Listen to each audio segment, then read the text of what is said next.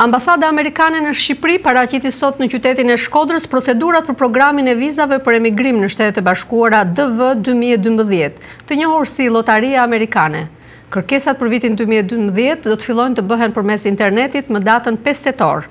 Zëvendëskonsullja në ambasadën amerikane në Tiranë, Emily Mechli, tha se këtë vit rregullat kanë pësuar përmirësime dhe se aplikantët do të marrin përgjigje përmes internetit nëse kanë fituar apo jo. Programi i Llotarisë Amerikane shpall çdo vit pesëdhjetë mijë fitues, të zgjedhur në mënyrë rastësore përmes kompjuterit, nga vendet me nivel të ulët emigracioni në Shtetet e Bashkuara. Korrespondenti i Zërit të Amerikës Pëllumb Sulo përgatiti këtë kronikë. Duke paraqitur në Shkodër nisjen e programit të vizave të diversitetit, të quajtur ndryshe Lotaria Amerikane për vitin dy mijë e dymbëdhjetë, zëvendëskonsullja në Ambasadën Amerikane në Tiranë, Emily Macaulay tha se ky program i autorizuar nga Kongresi amerikan bën të vlefshme çdo vit pesëdhjetë mijë viza diversiteti të nxjerra nga përzgjedhje të rastësishme me kompjuter për persona nga vende me emigracion të ulët në Shtetet e Bashkuara të Amerikës. Dhe ky program i jep pesëdhjetë mijë individëve të zakonshëm një mundësi të emigrojnë dhe të ndërtojnë një jetë të re. Ne jemi këtu për të publikuar fillimin e lotarisë DV dy mijë e dymbëdhjetë. dhe të bëjmë të ditur disa nga rregullat dhe procedurat.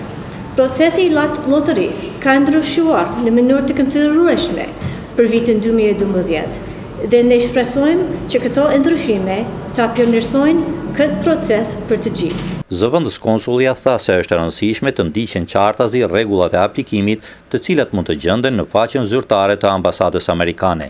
Rregulli më i rëndësishëm është e ndiqni rregullat, e mbase ju po mendoni se cili është ndryshimi.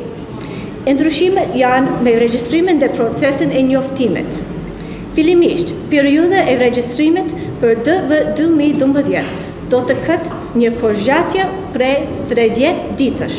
Zëvendëskonsullja amerikane tha se ndryshe nga vitet e mëparshme, është e rëndësishme që pas çdo aplikimi në internet të ruhet faqja personale e konfirmimit dhe numri unik i tij. Ndryshe nga vitet e mëparshme, ky numër i mundëson aplikuesit të shikojë përmes internetit nëse është përzgjedhur ose jo si fitues nga Lotaria Amerikane dy mijë e dymbëdhjetë. Aplikimet për Lotarinë Amerikane dy mijë e dymbëdhjetë nisin në orën gjashtë të pasdites të datës pesë tetor dy mijë e dhjetë, për t'u mbyllur në orën gjashtë të pasdites të datës tre nëntor dy mijë e dhjetë. Zëvendëskonsullja amerikane tha se ashtu si edhe vitet e mëparshme, shqiptarët kanë shans të lartë për t'u përzgjedhur për shkak të numrit të madh të personave që aplikojnë për lotarinë amerikane. Për Zërin e Amerikës, nga Shkodra, Pëllumb Sulo.